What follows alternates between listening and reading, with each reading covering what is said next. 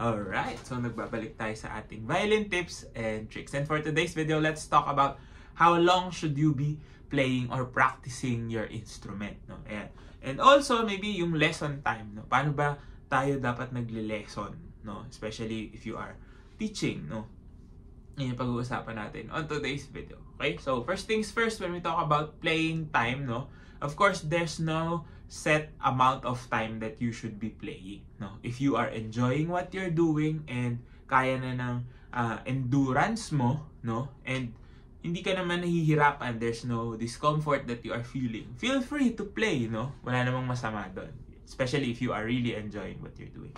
But if you are starting out, usually, di ba, wala ka pa naman masyadong uh, inaaral ng mga techniques, no? Very simple tasks pa lang yung pinapagawa sa'yo if you are starting out. You don't need to spend 3 hours no inside your practice room or practicing, no?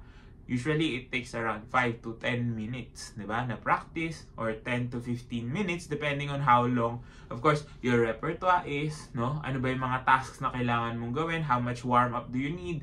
Open string exercises, all those things uh, come into play, no? When we talk about your playing time. As long as hindi sumasakit yung katawan mo, no? You can play as short as you want or as long as you want.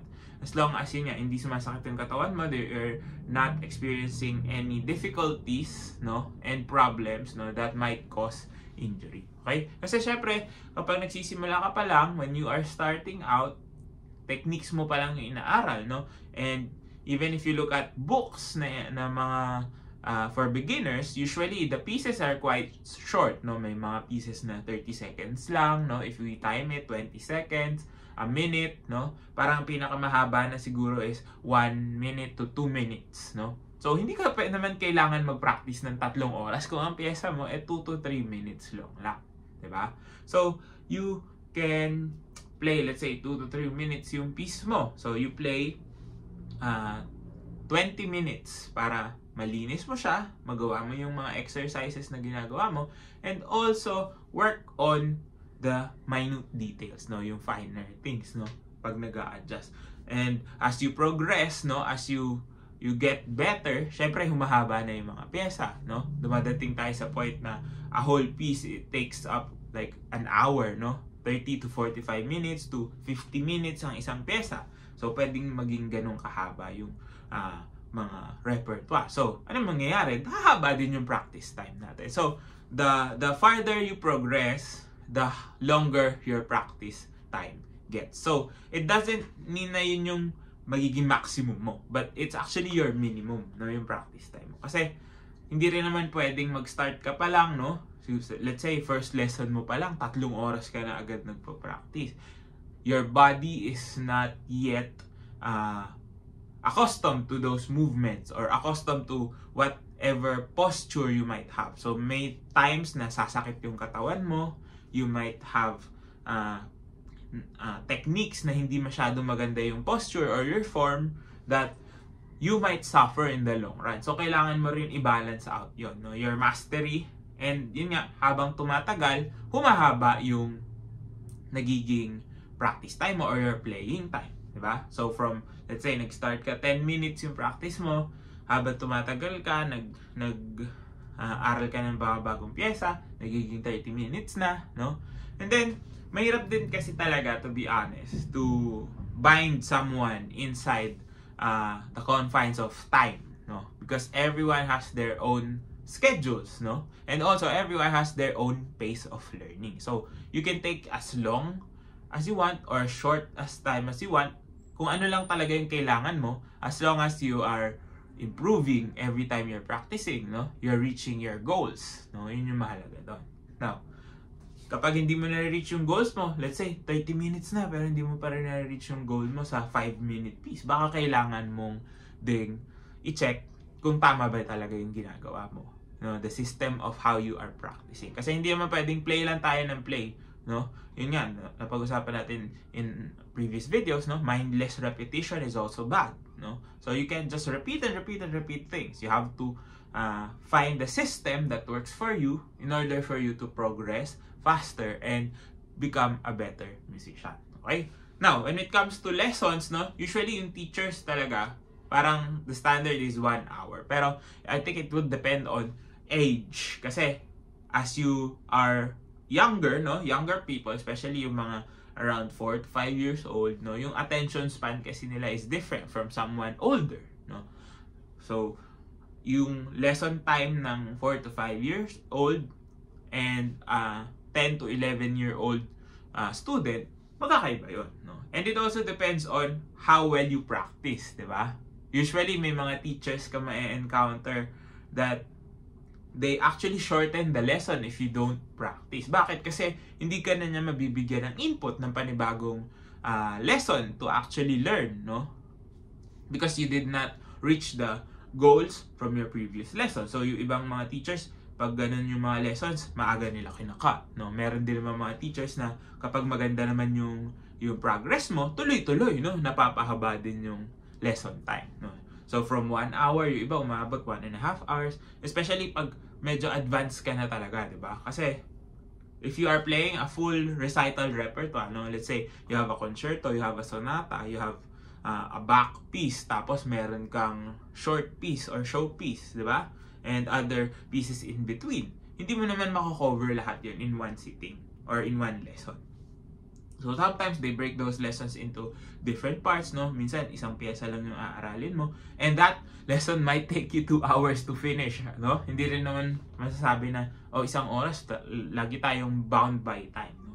It's really hard to put music in the context, no? Na eksaktong-eksakto.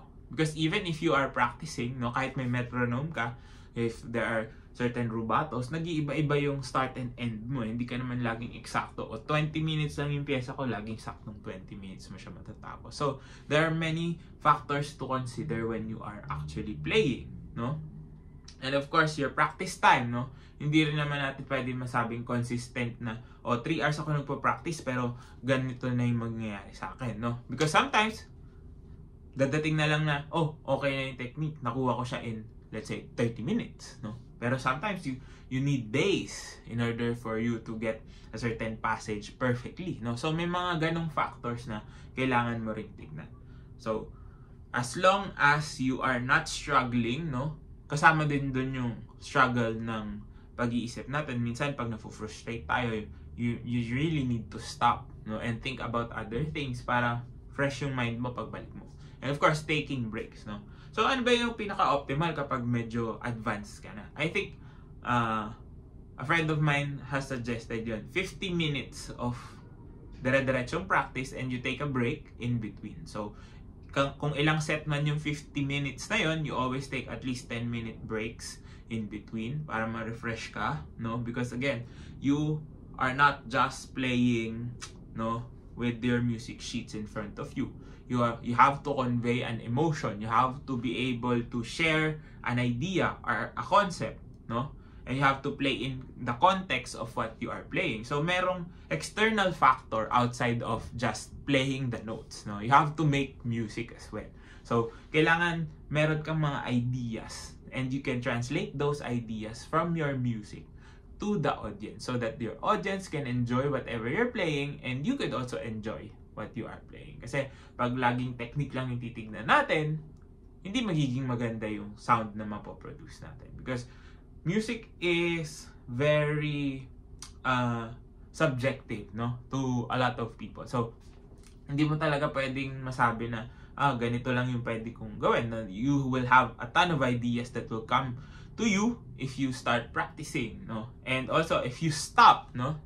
We talk about having breaks as well. So, Again, if you are a beginner, you have to also build the endurance to be able to practice long hours without having problems, no? Na magde-develop ka into injuries in the long run. Kasi, di ba sabi nga natin, musicians tend to develop uh, overuse injuries rather than you know yung mga biglaan na lang may mababalian ka no so you also have to take that into consideration within your practice time. So you have to set goals and if you are hitting your goals, then that's good, no? You just play around with your practice time, no? And yun nga, habang nagsisimula ka, medyo maiksi muna. And, but if you are enjoying, no? Walang makakapigil sa'yo. You just continue playing, continue practicing as long as you are enjoying. And you are reaping the benefits. Kasi there will come a time na kahit practice ka ng practice, wala nang papasok sa isip natin. Because we also have to think. No? We can't just be playing with our bodies, but also with our minds. Ayan, sana nakatulong tong video na to. If it did, please do drop a like, comment down below more content you'd like to see. And of course, subscribe to my YouTube channel. Follow me on all my socials. All the links you need down in the description box below. This has been Ryan Manakil for Violin Tips and Tricks. And I'll see you on the next video.